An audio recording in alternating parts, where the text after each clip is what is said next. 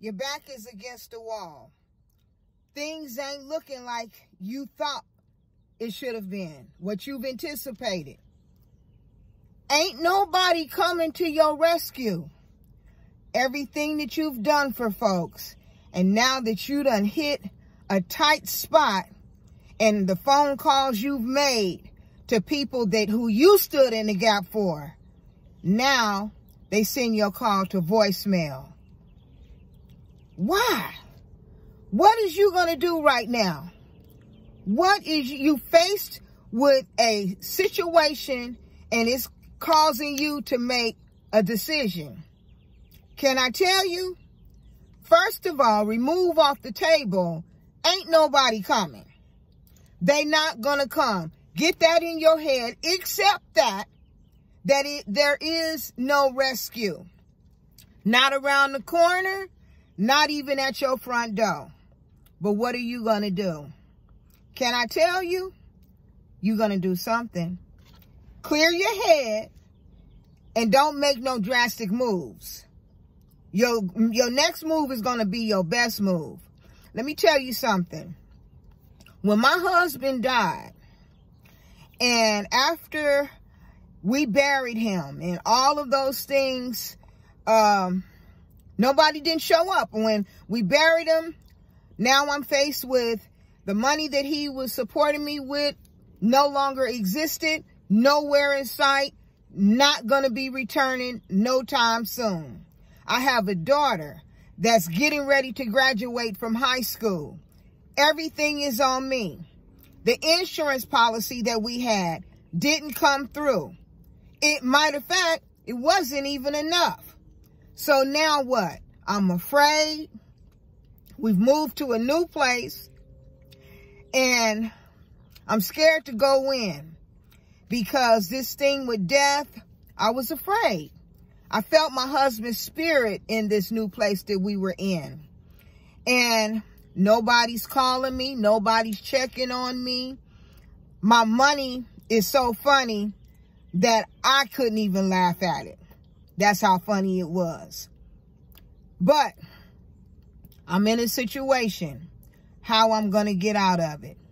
Well, the first thing I did was I went into selling life insurance because I did not want what happened to me, what was happening to me at that moment in 2012. Somebody had to, to I needed to get this message to someone to let them know that this didn't feel good and the catastrophic bomb done hit my house and I wasn't prepared. Was it on me? Yeah, it was. And that's what you have to do. You have to accept that how everything has transpired and what it's done turned out to be, it's you. It's on you. But it's going to be also you that's going to get yourself out of it. So we moved from place to place. From 2012 to 2014, we was moving. And for five years, I was broke. But what, let me tell you something. What never wavered was my faith. My faith never wavered. I had to just accept what it was is what it was. I knew for sure one thing though, that things don't last always. This too will pass. Just didn't know how I was going to get out of it and what was going to happen, but I stayed the course. Every month, they put an eviction notice on my door, a three-day pay, quit, get out, whatever.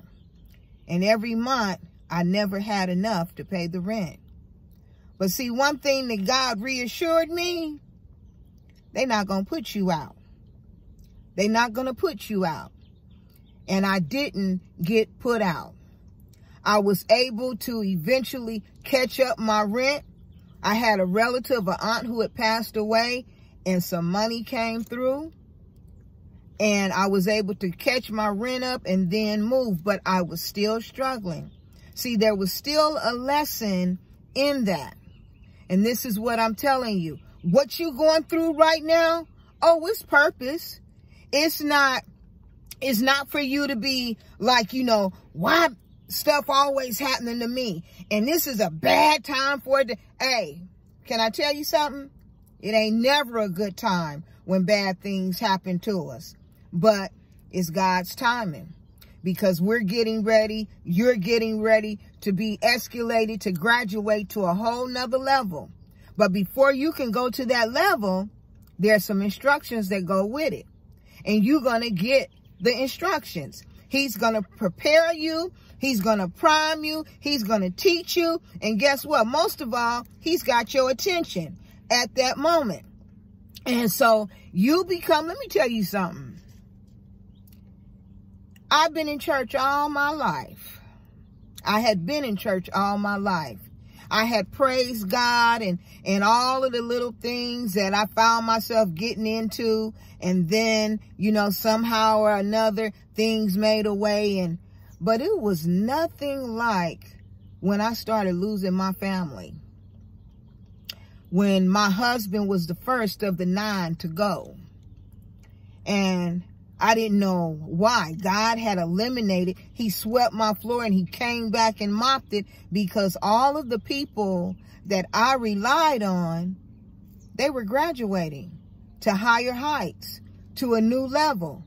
And this was going to be my time that he was going to use me. He was going to elevate me to be able to be now the mentor to my family. But mo most of all, be a mentor to myself. See, at the end of the day, you got to stand in your own gap.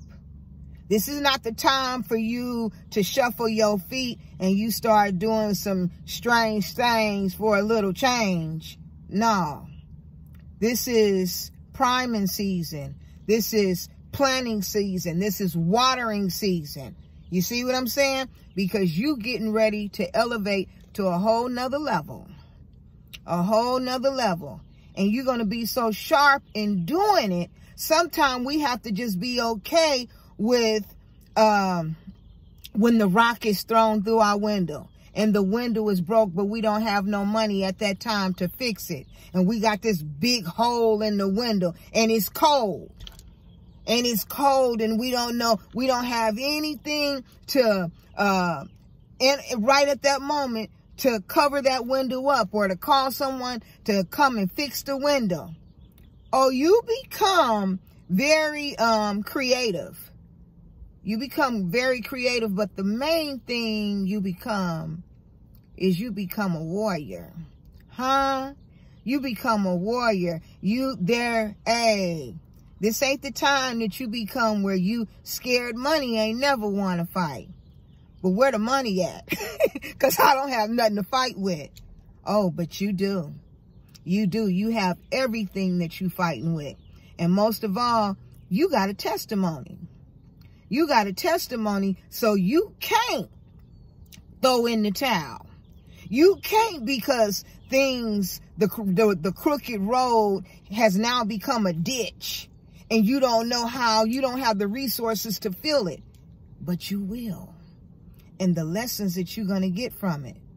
And like I said, I have been in church all my life, but it wasn't until that catastrophic pitfall hit my window that me and God, me and the higher power, me and the creator had become best friends because I didn't have no friends in sight. I didn't have no family or no one that I could call and say, hey, can you loan me a thousand dollars because you know, can you loan me a thousand dollars for the next five years to cover my rent? I had nobody. And I know how it feels to be out there and feel lonely like you don't have nobody. But I can tell you this, you got everybody. You got just who you need. You got you. You got this. And you got that faith standing in the gap for you. So I'm sitting out here and I was just like, I need to share this with somebody. But let me tell you what else. After five years, I was able, I became a bus driver. Didn't even have no money to get to the bus yard. To even, to, to get my credentials. When I tell you I was broke, I couldn't even spell broke. Bruh. Bruh. That was as far as I could go. But little by little, because I never gave up, things started to unfold. Things started to appear for me. Things, you know what I'm saying? Just little by little. And the gratefulness that I had and the humbleness that I had while I was going through. And I became a bus driver. In some of my videos, you may hear me say that $10.50 was the best wage because I learned what to do with $10.50. I'm still a life insurance agent, still sharing with people that people come and go. But when you have, when you are doing life with someone, make sure that everything that you're dependent upon or, or that's dependent upon you, that you have some life insurance. Ain't nothing promised. It's not to make somebody, you know, somebody's going to get rich or whatever, but you have things in order, if, if, if you don't want things to change for your children, you have small children and your children need you and you have a spouse, somebody that's helping you with your children you want to make sure both of you guys are covered because what you've done, you have, um, you have given these kids a lifestyle that they have be become accustomed to. And one of the parents or the other providers leave unexpectedly and now it's all on you. What are you going to do? Thankfully, I had raised all of my kids with my husband and we had this one girl left and she was graduating that year that he left. But I learned something. And I learned how to get back up. And I learned how to stand up. And I learned how to cover myself. I learned how to cover the ditch that was a ditch. I learned how to find some gravel and put some water on it and pat it down and where it all fit. I learned how to fix the broken window Matter of fact, I had the resources to be able to call someone and fix the window so I don't be cold at night. All of that.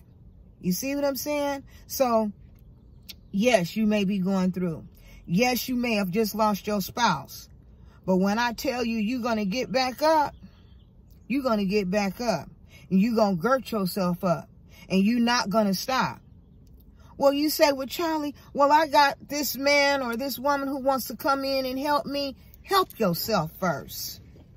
Help yourself first. Whatever it is that God is trying to get to you, you got to get that first. You got to get that first. You got to know ain't nothing promised. Remember that. Ain't nothing promised. And what you going to do with it. Things come leaving already and what you going to do about it. If you always trying to find somebody to latch on to their leg, latch on to God. He got you. And the lesson that you're going to get, you're going to be so much more better for it. And you, uh, they say, mama used to say, uh, you can't spend no wood nickels. And that's real talk. So, you're going to learn how to cover yourself. You're going to come, you got a testimony. You got a testimony just like I'm sitting. I'm not sitting here telling you something that I think or what somebody else's story. I'm telling you my story. Go back through my other videos. Oh, yes. Every day there was a struggle for five years. I still have struggles now.